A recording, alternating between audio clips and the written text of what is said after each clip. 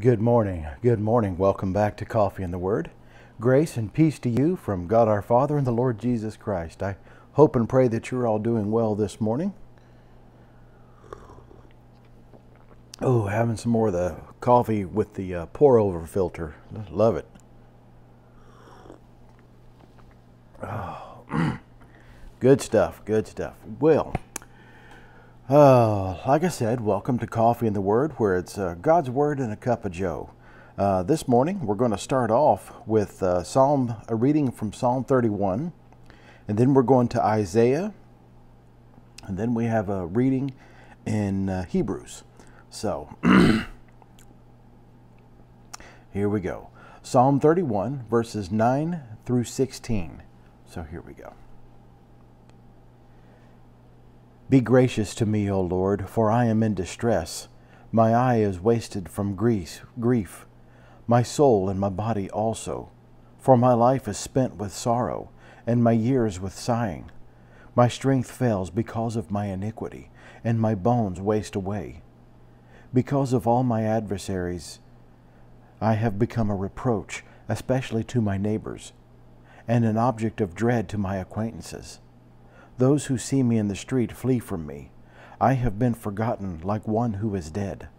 I have become like a broken vessel, for I hear the whispering of many, terror on every side, as they scheme together against me, as they plot to take my life. But I trust in you, O Lord. I say, You are my God. My times are in your hand. Rescue me from the hand of my enemies and from my persecutors. Make your face shine on your servant. Save me in your steadfast love. All right. Get a little more coffee here.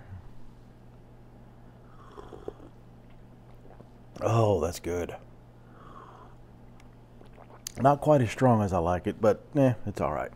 This is uh, an old uh, beer stein that my, my father made. I've had this one for oh, I don't know how long. I've had it since high school, so love it. All right, uh, the Old Testament lesson this morning Isaiah 53, verses 10 uh, through 12. So, yet it was the will of the Lord to crush him. He has put on, put on him to grief. When his soul makes an offering for guilt, he shall see his offspring. He shall prolong his days. The will of the Lord shall prosper in his hand. Out of the anguish of his soul he shall see and be satisfied. By his knowledge shall the righteous one, my servant, make many to be accounted righteous, and he shall bear their iniquities. Therefore I will divide him a portion with the many, and he shall divide the spoil with the strong, because he poured out his soul to death, and was numbered with the transgressors. Yet he bore the sin of many and makes intercession for the transgressors. All right. Uh, the New Testament lesson. Let me get a little more of this. My throat's a little dry this morning. All right. Uh, the next, uh, um, the New Testament. We're going to Hebrews chapter 2, verses 1 through 9. So here we go. Therefore, we must pay much closer attention to what we have heard, lest we drift away from it. For since the message declared by angels proved to be reliable, and every transgression or disobedience received a just retribution, how shall we escape if we neglect such a great salvation? It was declared at first by the Lord, and it was attested to us by those who heard, while God also bore witness by signs and wonders and various miracles, and by gifts of the Holy Spirit distributed according to his will. For it was not to angels that God subjected the world to come, of which we are speaking. It has also been testified somewhere. What is man that you are mindful of him, or the Son of Man that you care for him? You made him for a little you made him for a little while lower than the angels you have crowned him with glory and honor, putting everything in subjection under his feet. Now, in putting everything in subjection to him, he left nothing outside his control, At present, we do not yet see everything in subjection to him.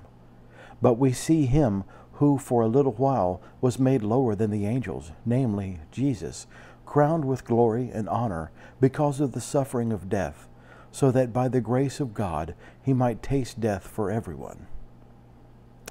Amen. All right. We'll go to the Pray Now app and I'll read the prayer of the day.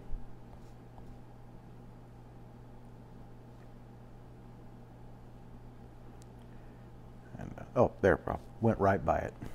Okay. Let us pray. Almighty and everlasting God, you sent your Son, our Savior Jesus Christ, to take upon himself our flesh and to suffer death upon the cross.